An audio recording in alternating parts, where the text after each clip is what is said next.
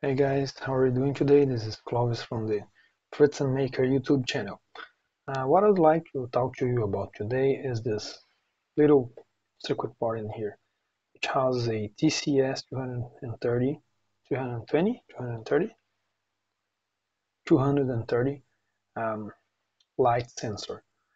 And the differential of the sensor to, to an LDR or a phototransistor is that it can identify colors. Red, green, and blue like separate uh, channels of colors, and white as well, of course. Um, it has four LED, four white LEDs in here, so that it, it can light the subject or the object you are you are willing to identify color.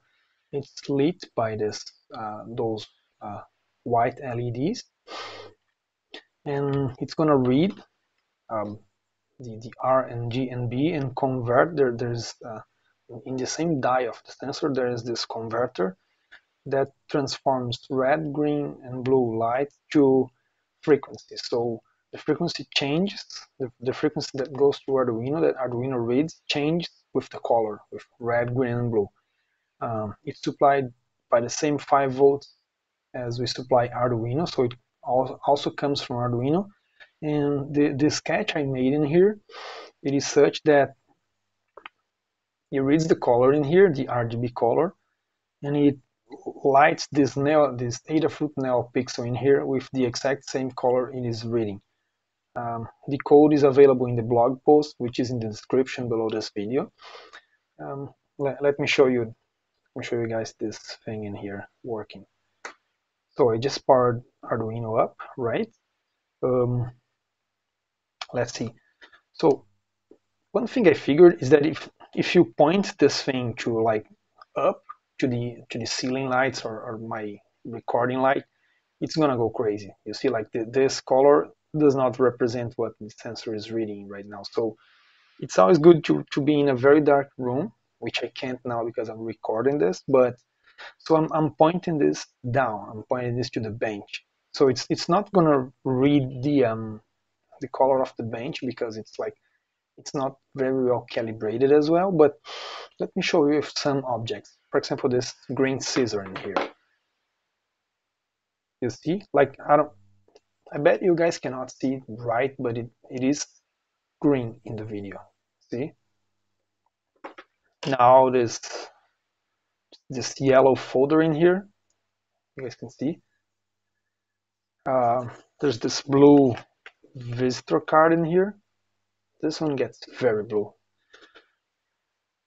The actual Onion Omega 2 um, sticker, this one is, is not going very, like it's more bright than purple, but anyway, it's a little bit purple. And this white uh, prototype board, it gets very, very whitey. What if I put something black in here? So I, I made my code such that the um, the RGB LED will go to zero, of course, because zero zero zero is the RGB for black.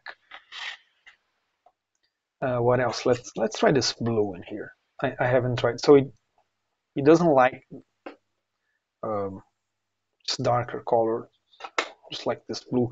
My even my finger, like my finger goes a little bit red in the sensor. So guys, I I hope you like this video.